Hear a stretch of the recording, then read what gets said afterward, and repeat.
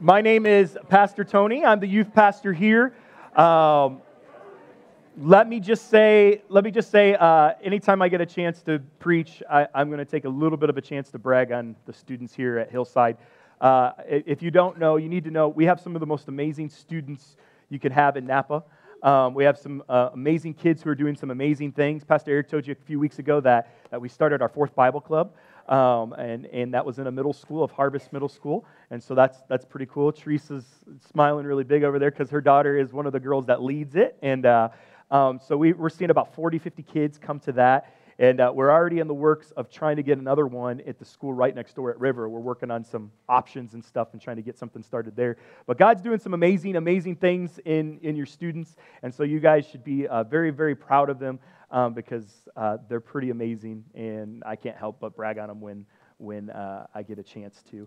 Uh, I have two jobs this morning. One, I have a job to preach the word. The other job is to keep Pastor Eric awake. Um, apparently, apparently, I might have a voice that puts him to sleep. I, I don't know, um, but we will, we will we will try to keep him. We'll, we'll, try to keep him awake. Yeah, the group behind you is a little rambunctious this morning. Um, they, they will keep you up. Amy knows what I'm talking about. you know, to get be a little crazy. Um, but today, I'm, I'm, I'm really excited to be able to preach in this series of Samuel. I don't know if you guys have felt this, but I, I feel like since we've started the book of Samuel, man, it's been pretty heavy, deep stuff. Um, and, and deep stuff in a good way. So a lot of times we say deep, and, and uh, in church we feel like we leave church feeling like, oh man, I just got beat up. But I, I have felt encouraged that, that God's pushed certain areas of my own life and maybe he has for your life too of just saying hey you know i'm with you. I can i'm going to come alongside you and help you through some of these things. And let me just say you know in some of these messages they get a little heavy. And in some of the scripture you see god get very very straightforward with people. And today's scripture is one of those where you see you, you see god come come right at these guys and tell them straight up what's going to happen. And you can look at a scripture like that and go man uh, god's god's pretty tough there and, and let me just say this God sometimes gets tough with us, so he gives us that opportunity to change. He, he gets tough with us in our lives, not so that we could leave church going, man, I'm just the worst person ever. Have you ever left church feeling that way before, where you, you go home, you're driving home going, why do I even go to church? I, I just feel like I, I, I just feel like I can do nothing right. I, I, can, I feel like, you know, I'm just, I, I'm just a big mess up. And, and hear me this morning. We, we're going to talk about this issue of sin. And anytime we talk about sin, instantly the whole room is like, uh oh, you know, eh, because we all know what we struggle with, right? I mean, when I'm writing this, I'm like, oh God, oh. In my office, I'm like, oh dear Lord, you know, and I, you know, but God, God reassures saying, I, I point that stuff out not to make you feel horrible, not to make you feel like you're inadequate, but I point that stuff out so that you can surrender it to me and be free from it so that you can surrender it and give it to me and, and that you don't have to live in that lifestyle. So let me, as we get in, because it's going to get heavy, and I'm, I'm going to come and I, I call them haymakers. I'm going to punch a little bit, and you guys are going to be like, I'm, I'm just going to throw a few haymakers out, all right? And, and when you hear those things, I don't want you to go, man, I'm a horrible person. What I want you to know is that you could be free. And God points certain areas in our life, the Holy Spirit points certain things out so that we can be free from those things, not so that we can leave feeling like we're stuck in them and that we can never get out of it. So this morning, I, I want to give you freedom. To, so if God points something in your heart, deal with it. Let him, let him deal with it. And so in Samuel this morning, we're going to we're gonna talk about that. We're going to talk about a few things in, in Samuel today. We're going to talk about worship. We're going to talk about the cost of ignoring sin, the effects of sin, and get God's desire for us. So, those are the four things we're going to cover today. Last week, Pastor Eric talked a lot about worship. He talked a lot about worship and the importance of it and coming into this place and understanding that our worship's about Him and not about us. And he said a statement that stuck with me and that I want to read again today. Worship is our need. Uh, worship is our need that brings us near God, and it's His asking that keeps us there. I'll read that again. Worship is our need that brings us near God, and it's his asking that keeps us there. Isn't that true? Think about it this morning. We come to this place a lot of times because we realize we need God. Some of you come into this place and you're like, oh, my, my, my family is disrupted. It's, you know, things are going on, things are horrible. God, I need you. So we come to this place and our asking God brings us to worship. But his asking is what keeps us there. So a lot of times we come into this place and we're ready to worship. We're like, God, I, I, I, I'm sick, heal me. God, my, my family's uh, you know, on the brink of destruction. God, I don't know what I'm going to do with my marriage. God, I don't know what I'm going to do at work. God, I don't know what I'm going to do about my finances. And we come with the need, and our need brings us here. And, and we have no problem sharing that need because we're like, if he can answer it, more power to him, right? Have you ever been in that spot? Maybe you're fine right now, but I've been in spots where I'm like, God, I, I need you, I need you, I need you. But it's his asking that keeps us there. And what that means is a lot of times we come to God with our needs and our worship. And then God asks us of something. Maybe he did that last week. Maybe you wrote in your journal. Maybe he spoke something specific to you and he asks you something. And the asking keeps us there. And that means that we start, we start doing what he asks. But when we don't, we end up backing away and leaving and and you know the crisis is over and then the next crisis comes and we come running in. We're like god i need you i need you i need you i need you. Does that make sense? A lot of times in our need it's easy to be desperate for god but it's the follow through of what he asks us is the hard part. And true worship is staying in the ask part and, and listening and obeying the ask part of what he's asking us to do. And so this morning we're going to talk a little bit about worship because, because I, I believe one of the biggest struggles we have when it comes to worship is this is our vanity. Yeah. One of the things we struggle the most with is our vanity. And I, am going to be honest with you. Um, this is something that, that God spoke to me a few months ago and then re brought up when I was reading this, the story of Eli's sons. Of this issue of, of vanity in our hearts. We live in a culture that's very vain. We live in a culture that's about us, about me. What, what, what can I get? What can I have? And if we're not careful, our vanity can be our biggest destruction. Our vanity can make us believe that we're bigger than God. Our vanity can make us believe that we're more important than God. And, and you can see it, you can see it in people's lives, and maybe sometimes you can see it in your own life in this way that, that when we become so vain, we start making the world around us instead of around Him. Our vanity can destroy us. And this is what happens to Eli's sons in, in chapter 2, verses 12 through 17. Now, the sons of Eli were scoundrels who had no respect for the Lord or their duties as priests. Whenever anyone offered a sacrifice, Eli's sons would send over a servant with three pronged fork while the meat uh, of the sacrificed animal was still boiling. The servant would stick the fork into the pot and demand that whatever is brought up be given to Eli's sons. All the Israelites who came to worship at Shiloh were treated this way. Sometimes the servant would come even before the animal's fat had, burned, had, had been burned up at the altar. He would demand raw meat before it and boiled so that it could be used for roasting. The man offering the sacrifice might reply, Take as much as you want, but the fat must be burned first. Then the servant would demand, No, give it to me now, or I'll take it by force. So the sin of these young men was very serious in the Lord's sight, for they treated the Lord's offering with contempt. What you need to know here is this is in Old Testament scripture, the, God was very big on this idea of sacrifice. God was very big on this idea of sacrifice, to, to sacrifice of sins. They, they would sacrifice animals, and, and God would put priests in charge. So, so back in the Old Testament, you and I, we, could, we couldn't go before God ourselves, but He would require a sacrifice to the priest, and the priest would go before God and offer it up, the very best.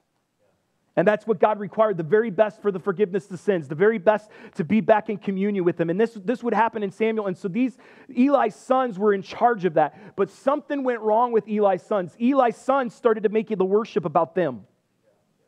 Their vanity got so much in the way that they started taking the first fruits for themselves.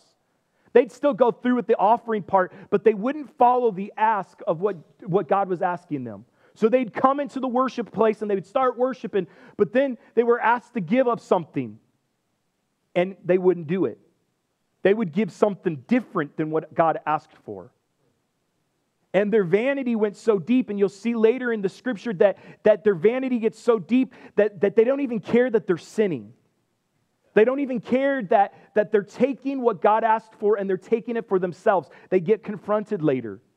And when they get confronted later, they, they, they just dismiss it and they don't care and they keep living the way that they want. Vanity can get us in trouble. Vanity can make this world all about ourselves. And when, when, I, when I read this and when I was thinking about this, you know, I, I, I thought about our culture, and, and our culture is very vanity centered, right? I mean, think about it today. Facebook, you know, first it first it started off with Xanga. I don't know anybody anybody remember Xanga? Xanga, right? Then then we went to MySpace, right? You got your you got your cool backgrounds. You know, you got your music that matches matches your profile picture, you know, and they, or your mood. You know, you're in a happy mood and you have your song on there.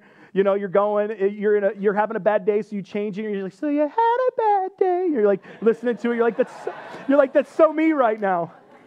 You're in love, so you put love songs on, and every time you get there, you, te- you get teary eyed, you get broken up with, and it's a breakup song. You know, everybody knows your life because of MySpace, right? The backgrounds, it's pretty cool. And then Facebook comes.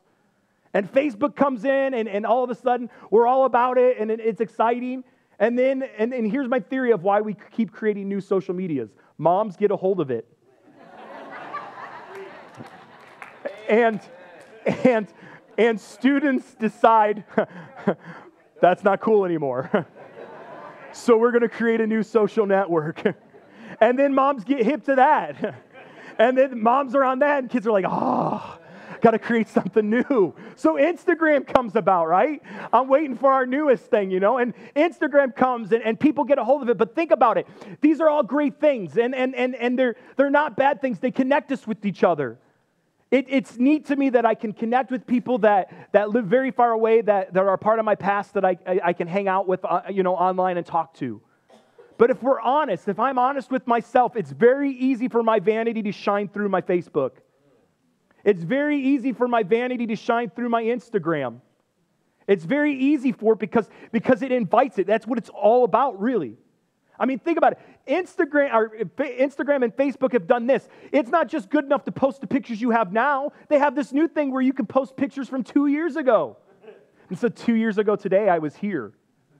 Right? You, you know, guys, I know I'm talking about. Even on Instagram, you're like, you're reposting pictures that were posted years ago because you want to show them off again. That's, that's the culture that we live in. We're always walking around with our phones going, and because we don't want to show we're vain, we put somebody else in there with us. We're like, come here. right? Right? Uh, we do it, and we're like, we're like, and, and, and we all we all look at other people. I don't know if you've done this. I'll, I'll be I'll be honest today. We look at other people like they post a lot of selfies. that one's a little vain over there. You know what I'm saying?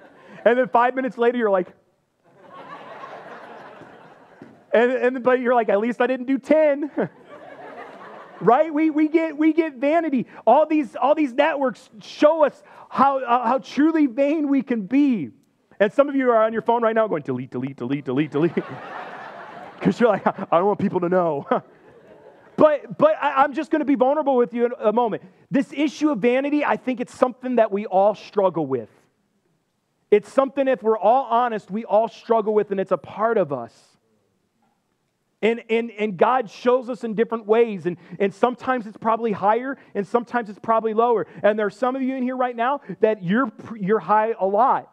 And God's going to expose that today. He's going to say, hey, you're making this more about you and not about me.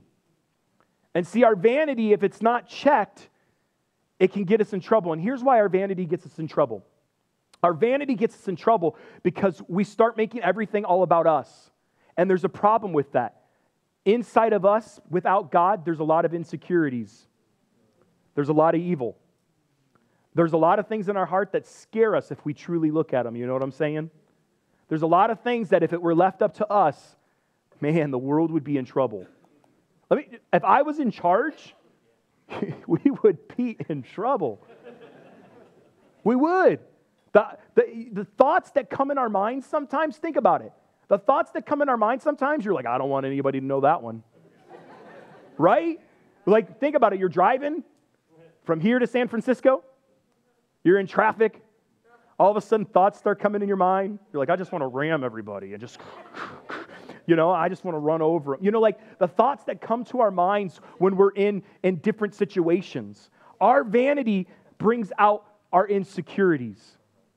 And what the problem with our insecurities when we make it all about us, we lie, we cheat to get what we want. We cheat to make ourselves look good. We lie to make ourselves look good. We hurt people to make ourselves look good. See, the problem with building our own image and our own vanity is we'll do whatever it takes to make us look good. And everyone around us gets hurt in our path. But when we're in God's image, it's the total opposite. When we're in God's image and we start walking in the image that He created for us, we start walking in love, peace, gentleness, self-control, kindness. Galatians 5:25 says it. We start, we start walking in the fruits of the Spirit. Do you see the difference between that? Our vanity brings out our insecurities. Our vanity brings out our insecurities, and they tell they, they, they say, do whatever it takes to make yourself look good. Do whatever it takes to make your, your family look better than other families. Do whatever it takes to make yourself look good at work. Lie, cheat, steal if you have to. Do whatever it takes to make your image look good. And our, our society tells us to do that. Our society tells us to do that because if you can make yourself happy, then it's all good. But there's only one problem with that. All the stuff that our insecurities drive us for leave us even more empty than when we set out to do them. Because we have to hurt more people. We have to, we have to cheat. We have to lie in more ways. And, and it causes us to get further and further away from who we're truly supposed to be. Here's a test and, and, that God spoke to my own life, and, and I'll say it for you guys too. You know your vanity is big when you're, you're setting out to please people more than you are God.